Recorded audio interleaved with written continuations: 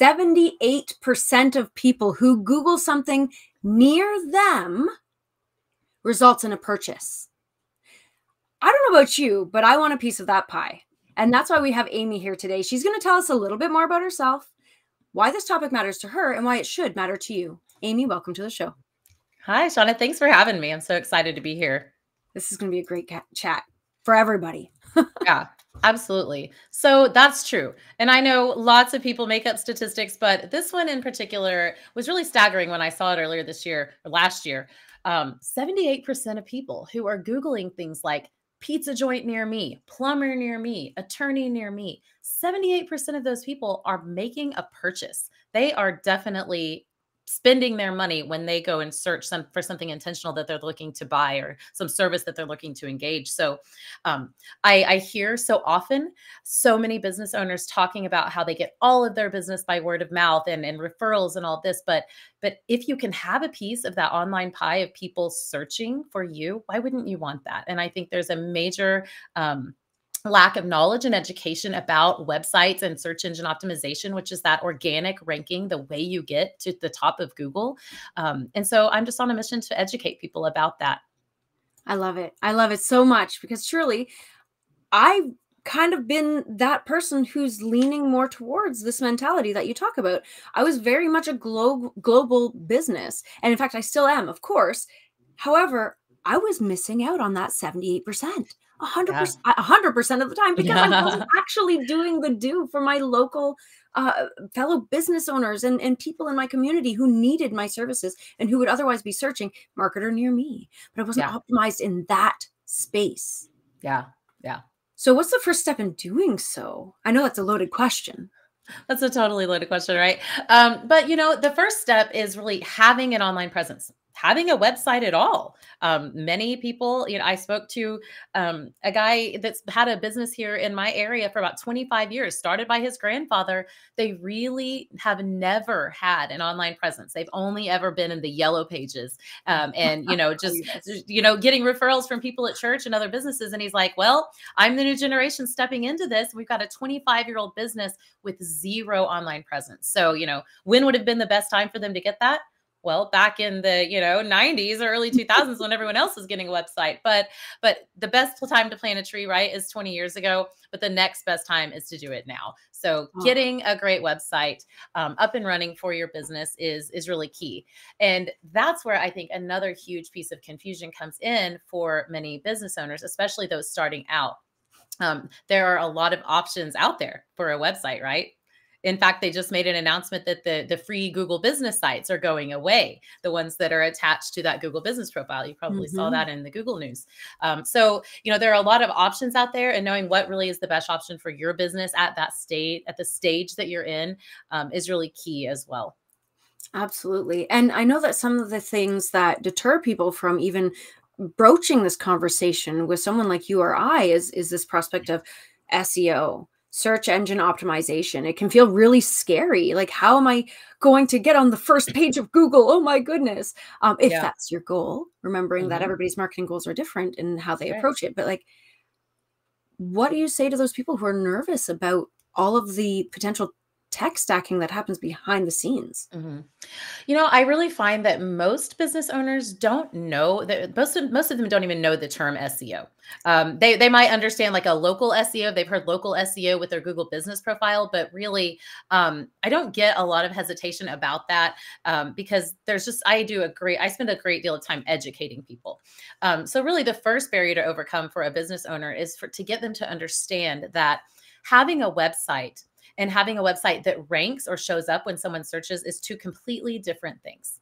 So, just having a website, I like to explain it like this. If you were to build a house in the middle of a field, in the middle of nowhere, the only person that would ever find that house is the person that you hand your address to and say, Hey, here's my new address at 123 Main Street. Come and see me, right? Um, no one else is going to organically find their way to your home unless you put up some billboards and some roads and some directions to your house. So right. SEO is the billboards and roads and directions to your house. Um, in fact google doesn't even know that there are billions and billions of websites on the internet and and millions go up every single day. Google doesn't even know that those are there unless and until it takes the time to crawl it see that it's set up right see that it has valuable content in it and then google will do what we call index that site. So there's a really complicated process to getting a website to show up. But the bottom line is um, people on the internet are not looking for anything different than your in-person customers are looking for. Okay. Right. Right. Yeah. yeah. So what is an in-person customer looking for if they walk into a business or they call a business even? Mm-hmm. Yeah. They, give, give, give them what fast. they want first. Give right? them what I'm looking for. Yes. So in order to understand how websites show up when someone searches something like pizza near me or plumber near me, you have to understand what Google's goal is. Google's goal is to take the question or the query or the search that its user it's is searching and deliver that person the very best answer it possibly can because Google's customer is their searcher. Google wants to please that customer. And so Google is going to go out if I Google plumber near me Google's going to go out on the internet and scan the billions of websites that it has access to and say, okay, who is the closest to where Amy is right now, physically? Right. Where's she at? Um, and then what website is fast? Is it mobile friendly? Because I might be on my cell phone, I might be on a tablet, or I might be on a desktop. So Google wants to make sure that it's going to be friendly and easy for me to understand no matter what device I'm on. It also wants to make sure that the answer it serves up is is a good answer, right? So if I go and the first result is a website that that I that that doesn't answer my questions and it's like okay. And then i keep scrolling down and scrolling down and i have to go to page two to finally get the answer that suits my needs. Google's like oh man we missed the mark with her. We didn't mm. serve her what she needed. So they're going to go back to the drawing board and say okay whoever we have in position one wasn't the right answer. We need to reevaluate these answers and the answer Google's looking for is, again, the closest. Um, it's fast, it's friendly, it's structured well so that Google can understand what the website's all about. And then, um, is it answering the questions that that I'm asking? Well, right now I'm only asking plumber near me. But if you've ever noticed on a Google search, people also ask. Have you ever noticed that little section? Google already knows what else I'm going to ask. It knows I'm going to ask, how much is it to, to snake a drain? What do I do when my kid shoves a Barbie head down the toilet? What do I, who's responsible for my sewer under my house, me or the city? These kinds of questions, if your website is not the answer to all of the questions that I might have as a top of funnel consumer, then Google doesn't want to serve it up because it's not doing its job. Google's job is to get mm. Amy to come back to Google again and again and again for all it wants to be the resource of my information. Whether I'm looking for a pizza or a plumber, Google's goal is to keep me on their platform and keep coming back to their platform so that it can put ads in front of my eyes, right? If you're right. not if you're not paying then you are, you know, if you're not paying for, if you're not um, being paid for it, then you are the product, right? So we are Google's product. It wants to keep us on its platform, no different than any other social media platform these days, too. Absolutely, and I think that's a really important um, concept for people to understand is that you are you are indeed that that product, regardless of whether you're on social media, on a search engine, no matter what. Now, you mentioned social media. So what my brain goes to is okay, so how are we putting up these these signposts? How are we putting up these neon signs that direct people? And a lot of times um, we're exploring the world of social media. How are you showing up in a way that Google can find you across the board? But there's also the other side of things, and that is like what you're actually including on your website itself. Can we take a moment to dive into these two kind of ideas of marketing yourself and your website in order to get eyes on what you're doing? Yeah. So um, the first question is what needs to be on the website? Sure. Yeah, let's start there okay. and then move okay. into the the social aspect of things and how people use content to market their their business and their website off of their uh, domain. Mm-hmm. Yeah. Um, so you know, it takes it takes a multi pronged approach to to digital marketing, right? We have all these different avenues that we can get. So the goal of the website should be again to get top of funnel uh, top of funnel questions answered. We want other questions answered, right? We so Google can really only understand that one page on a website is really about one thing. It can't really understand that my website is about logos and branding and SEO and Google ads mm-hmm. and Facebook ads. So there needs to be a separate page for each one of those things on your website. So again, if you're a plumber, there needs to be a separate page for toilets and water leaks and garbage disposals and sewer lines. So we can't Google can't really understand that each one of those things is um, if, if, they're all on the same page. Google can't understand that. So we want to make sure that we have a page, a separate page um, that's talking about each one of the services that we offer. If we serve in multiple locations, Google can all, uh, cannot understand that I do services in Oklahoma City and in Tulsa. It can't understand two separate cities. So there needs to be a location page for each location that I serve. And even tunneling further down, there should also be a location page. If I want to rank in Tulsa for logos, there needs to be a logos in Oklahoma City page and a logos in Tulsa page, right? right. Because again, Google can't understand that. So that's usually our first and if we're starting from scratch with a business we we do the traditional you know we got the home page the about us page all the service pages lots of location pages and then eventually once we covered all of those things we typically roll into what a blog format which is the blog the whole point of a blog is answering those very very top of funnel questions that people yes. are asking when they're just thinking about doing business with you so, for example, uh, my husband Joseph and I just sold a, a painting company earlier this last year, or past year. Um, and one of the top ranking pages on that site outside the homepage was a blog article that answered the question How much does a painter make per hour? Hmm, okay, well, that's not what I would Google if I'm looking for someone to paint my home. However, we have to think about our consumers. And so we have to think about the lady sitting in her living room, you know, scrolling on her TikTok, looking up, going, geez, that paint looks like crap. oh, we should really paint. What are the most popular paint colors? Like, how much does it? Is there even a painter in this area? Um, what would it cost to to buy the paint myself? I wonder if I could just hire someone hourly. What would that look like?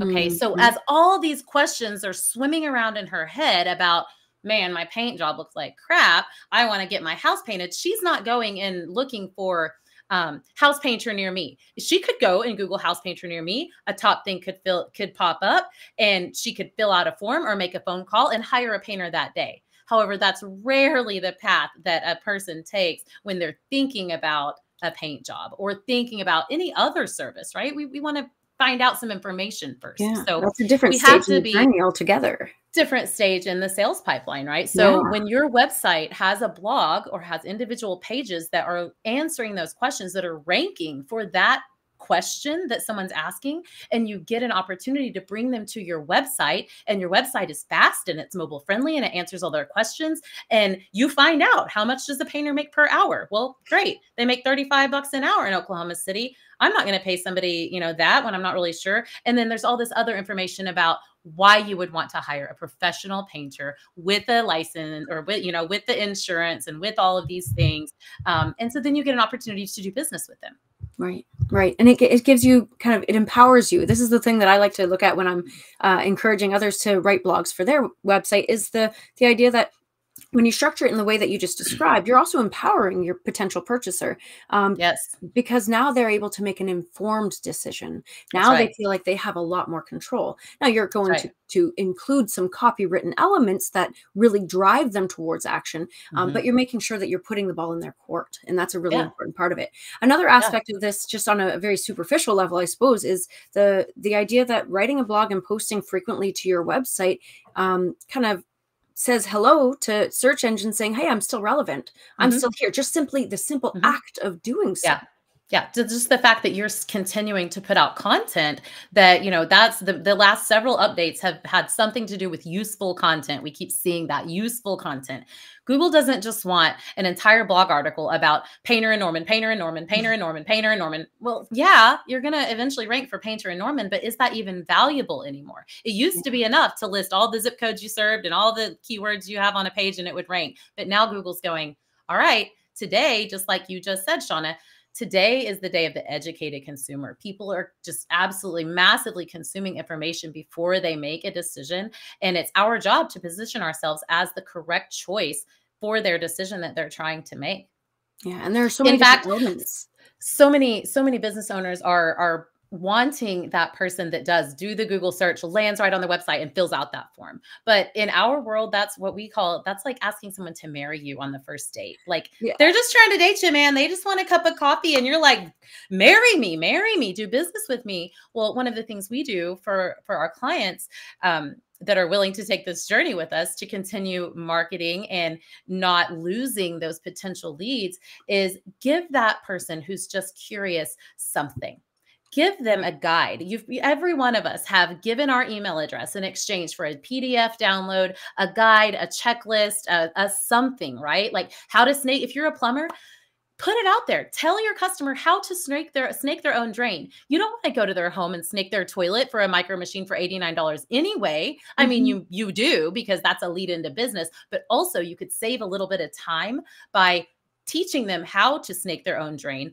putting them in your email sequence, reaching out to them on a weekly or biweekly or monthly basis with information that helps them around their home in other areas as it relates to plumbing. And then who do you think they're going to call when the pipes really do break? When you have an opportunity to replace a hot water tank or something in their lives because you've been that helpful person all along. And you just answered a question they had about snaking their drain, right? I love that so much. Yeah, I, mean, I was actually just way. having this conversation with someone about how, like, okay, you can you can do tactics out the wazoo, but if the person doesn't know you, like you, and trust you, and I know that's, that's right. it's become very buzzwordy and cliche, the know like trust sure. factor, but it's true. It's absolutely it's true. true. People buy from people.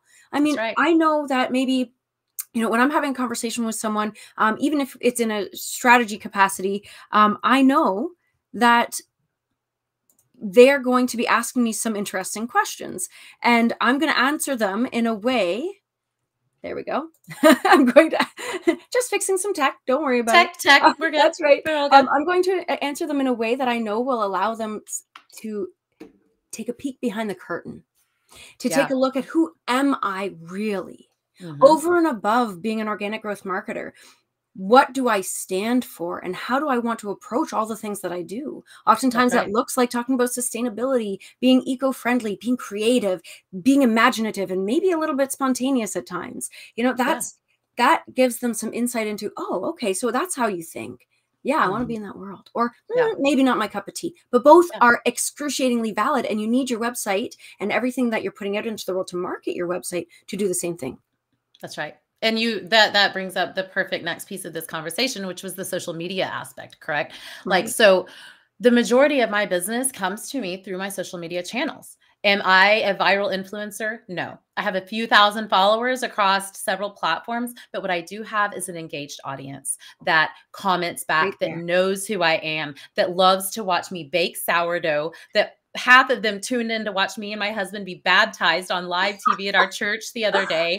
Um, we're baking bread. They see our children. They see that we're marketers. They see that we have an online magazine. They see our lives. And just like you said, people do business with people. Just like we had a tech issue a while ago, we are people, guys. We have laptops and computers and Wi Fi and like cats walking across things. I mean, who knows? We're people, but people need to see that realness. Like all of my social media handles by default, because Amy Singleton was taken, I turned into the real Amy Singleton. And it was kind of funny at that time mm. because I was like, oh, well, you know, I'll never be famous or have a real following, but I'm just going to use the real Amy Singleton. And ironically, it it became such something that I'm really known for because I just keep it real. I really do. I'm like, you know, if I were wearing sweats instead of these gold pants, I would stand up and show you. I'm wearing sweats today. Like, you know, I'm just a person. I do business with people and that's what brings me so much joy is watching these people grow their businesses and truly step out of the doing and into the managing and into the birthday parties and the backyard barbecues and the OU football games and the things that they want to do. Like we get to grow that. It's exciting. I mean, I mean, come on, like it's totally how much more joy can you get from from watching someone take their dream and not only fulfill that for themselves, but grow their teams, impact their people that, that they're employing. To me, that's the definition of an entrepreneur is to grow something and be bold enough to put it out there, to grow it big enough um, that you can support other families and then serve the clients you serve and have a bigger and bigger and bigger impact.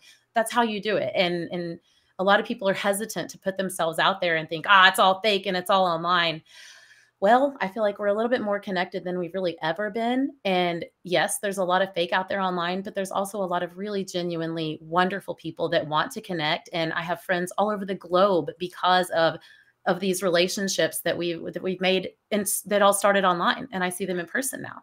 Absolutely. It's amazing. And I think of when when people you get this all the time, oh, it's so fake. And I always like to my response truly, it doesn't have to be.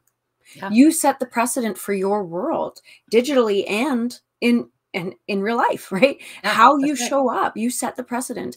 And and I think that's a really important um aspect to how you're marketing yourself on social media. Now, um, I'm curious then, as people are showing up on social media, and we're encouraging you all to show up as your authentic self, of course, because stepping into your authentic power um, is both intrinsically and extrinsically immensely valuable. Over and above that, though, how are we using that to boost our website performance? Yeah. So it if you are if we're talking about personal channels here, like my personal Facebook, um, you know, there are a lot of things you can do to set yourself up as an expert in your industry, right? So like in your bio, instead of just saying you're like, you know, mom of three, digital marketer, whatever, put your website there, put a call to action there. Like building people's businesses one website at a time and whatever it is that you're doing um, put that there so people know who you know who you are and what you're doing um, another thing you can do is share really valuable resources so like those lead generators we were talking right. about um, share resources and be completely transparent and open with those resources. Give away the farm. We have built our business by giving away so much information, training, teaching people to do what we do themselves, to even maybe work with someone that, that they're not quite ready, can't afford us. Like, let us connect you with someone that can move you forward. Yes. Um, all just by giving massive amounts of value. And, you know, of course, if you have a blog and you want to highlight something you've written about, absolutely link that into your normal content. It doesn't have to be 90% business content, but as you were saying earlier when we're when we're talking about working from our personal channels I know at least for me in business and so many people I've talked to when you're when you're new you want to work with anybody and everybody anybody that will pay you money anybody that will do anything like we any will you paying are you paying? I'm doing like yeah. it doesn't matter like we want we're new right? We got to learn we're we're just honing our craft. But um I wish that I'd instead really identified my ideal clients and the people I enjoy working with the most a little earlier on, which now we do have that um, luxury of working with the people that we synergize with um, the best. But as you put out that personal content, um, like you you said you know you're you're into the eco-friendly well like you're probably not going to resonate with someone um you know like who whatever who like runs a trash heap i don't know like probably not going to be like a great person um, you're not going to have similar values you're not going to care about the same things mm-hmm. um, and so when you start to reveal yourself online to your potential audience um, it really draws in those people who are connected with you that do care about locally sourced sourdough bread, baking at home, you know, it's sustainability. You want to work with those people, right? Like I don't want to work with racists and and assholes and I don't want to work with people that I don't get along with anyway. So if my content repels them, yes, that's great. I want it to repel them so that it can draw forward the people that I do want to work with. Absolutely. I love that. And actually, that's a really great point um, about the whole eco friendly thing because I very early in my career, I would say, mm, I don't know, seven or eight years ago, I expressed to someone that, you know what? I don't work with product based companies unless they're e- sustainable, unless they're eco friendly. Mm-hmm. Um, yeah. And I had a somebody who was in the business for many, many, many more years than I was was like, "That's ridiculous. You're closing off a market." You're and I said, "You know what? That's okay. I'm okay with that."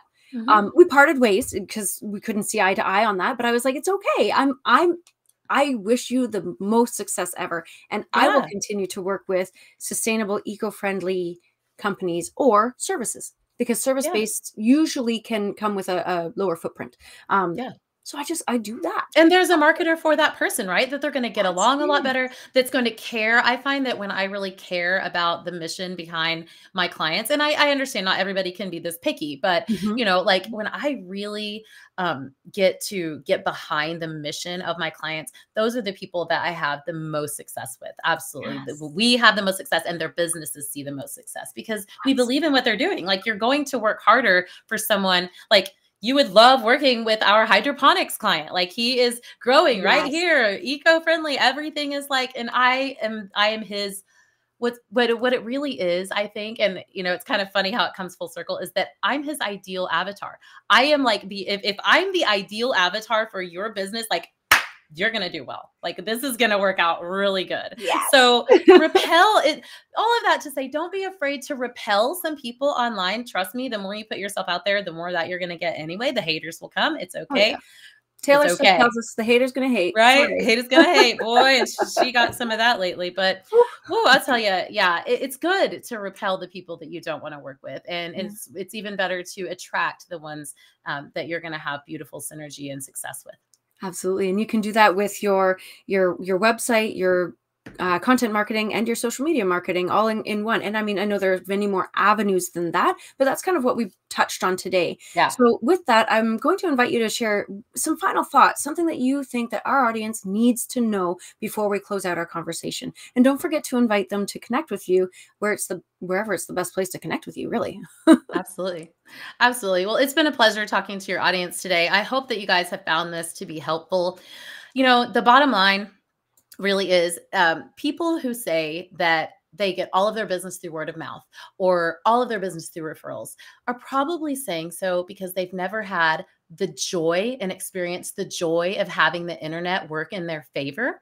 And so I just challenge you today to go and take a look at your website if you have one at all. Um, take a hard look at it, see if it's fast friendly. Is your website answering people's questions? And if it's not, um, I would love to invite you to go over to amysingleton.net. At the bottom of my page, there you will find a form where you can enter your information along with your URL, and my team will go and do a few minute video for you, just a quick audit showing you some areas of opportunity, things you can change today, or someone on your team can change today to make your website work better in your favor and get you more of that know like, and trust factor with Google, as well as the wonderful referrals and um, and word of mouth clients that you get.